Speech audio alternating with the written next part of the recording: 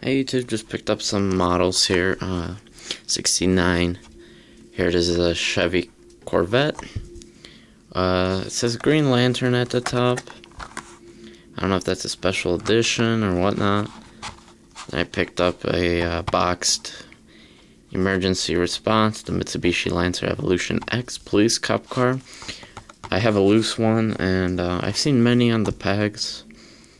So then I was thinking of getting a box one, and finally they I didn't see them. Um, guess my luck came in.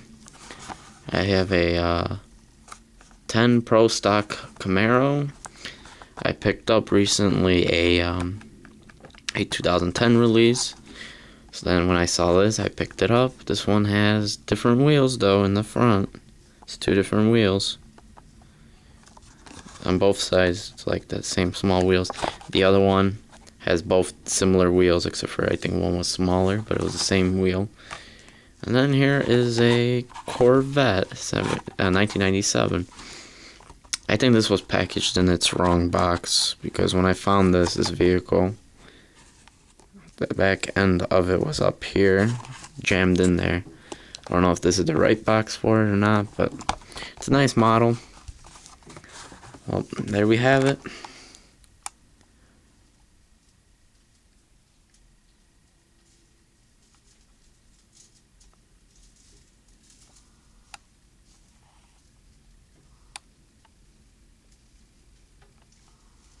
Bye bye, guys.